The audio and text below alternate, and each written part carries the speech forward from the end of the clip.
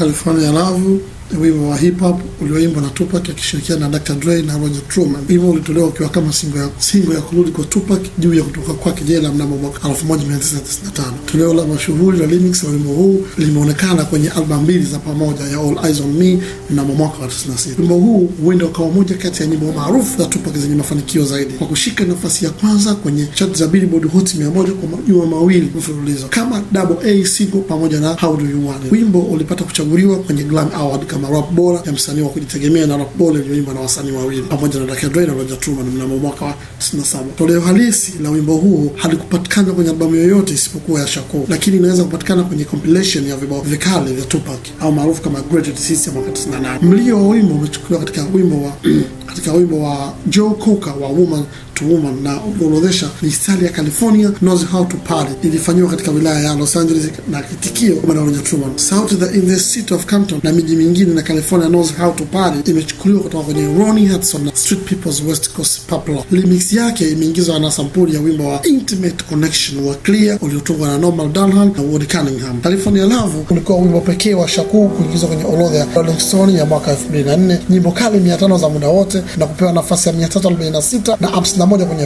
VH1, nyimbo kali 100 za miaka 90. Historia na utunzi.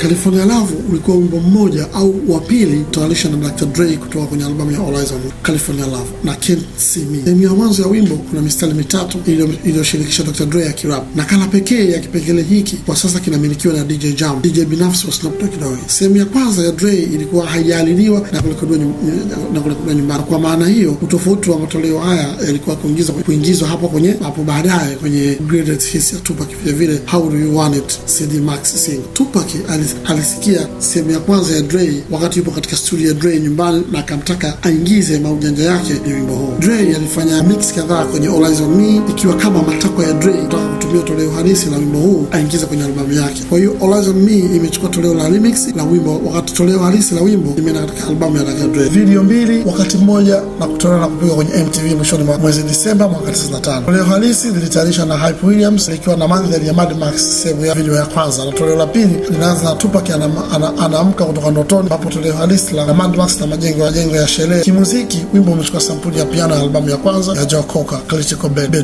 Beat Down. Wimbo wimboni Loja anaimba shake it shake it baby, anarejea kipengele cha wimbo aliotumia kwenye singo yake ya mwaka 82 za Dance Floor.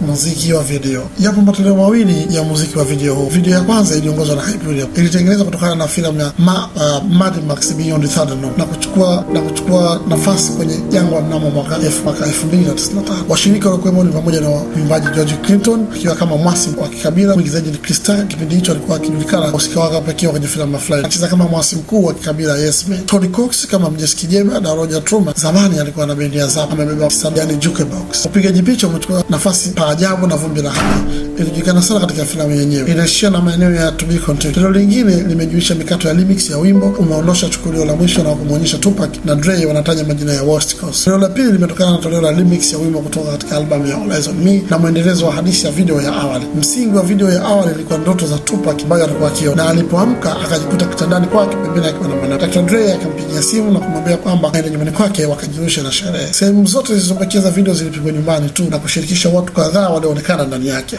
almaarufu Roger Truman ambaye kwa sasa ameonekana akipiga piano na ugeni waliko kutoka kwa DJ Quick, Big Sight, Danny Boy, Jodeci, Dio Sanders, B Range na E40. Video ilitengenezwa kwa ajili ya remix ya wimbo. Video ya kwanza ilichaguliwa kwenye MTV Music Award kwa jina Best Video Rap mwaka 96. Imeshika nafasi ya tisa kwenye kumi bora za MTV 100 Greatest Video Ever Made nyoroza mwaka 99. Na mwezi wa Aprili mwaka 2005 imepata dola ya nishani shaba kwenye MTV na XXL25 Greatest West Coast Videos. Pia imefollow namba moja kwenye French MTV Greatest Rap Music Video kwa mwaka 2006.